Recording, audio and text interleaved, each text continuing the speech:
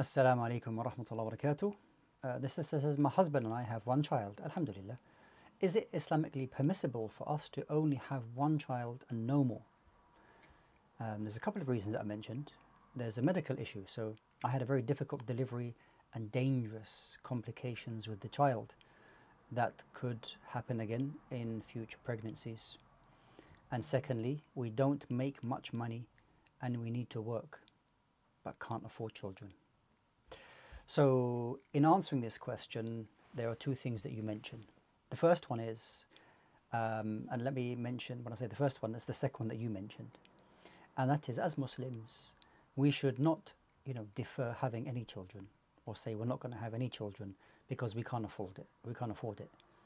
Allah subhanahu wa ta'ala is the one who provides. And with every human being, there is a rizq, there is a provision that comes along with them. So we should not put ourselves in a situation saying that we can't afford children. Allah subhanahu wa ta'ala is the one who provides. If it is dunya that we are seeking, um, then okay, you will uh, sacrifice not having any children.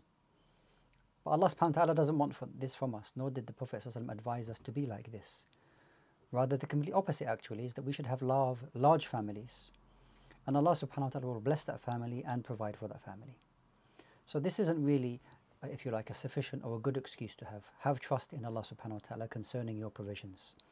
Secondly, um, with regards to uh, complications in the birth, I mean, um, I'm not sure what they were. If it was a natural birth and something happened, then, you know, at times when there is a complicated natural birth, then at times they, uh, they recommend having a cesarean. And this is a way um, that you don't face those complications again.